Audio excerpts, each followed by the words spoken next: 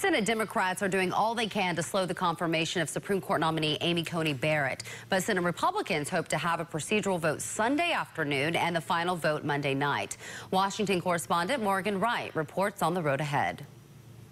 Judge Amy Coney Barrett's Supreme Court confirmation has reached the Senate floor. Before we go any further, we should shut off the cameras, close the Senate, and talk face to face. Senate Democratic leader Chuck Schumer tried to delay the effort by forcing the chamber into a closed session to debate the nominee privately, but it was just a bump in the road toward confirmation. They have the votes.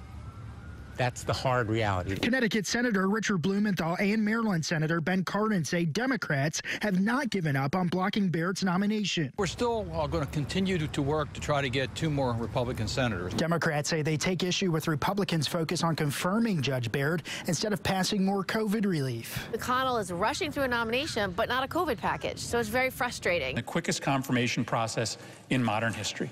An abomination of a process that makes a mockery of the Senate and the Constitution. But Senate Republicans maintain Barrett is one of the most qualified people to ever be nominated. Every American should celebrate the fact that a woman of this character and qualifications and knowledge of the law will be serving on the Supreme Court. Republicans insist that no amount of Democratic foot dragging will stop the confirmation. Polls clearly reflect the American people want her confirmed. The full Senate is on track for a final vote on the Barrett confirmation Monday, and shortly after, Judge Barrett is likely to be sworn in as Justice Barrett. Reporting in Washington, I'm Morgan Wright.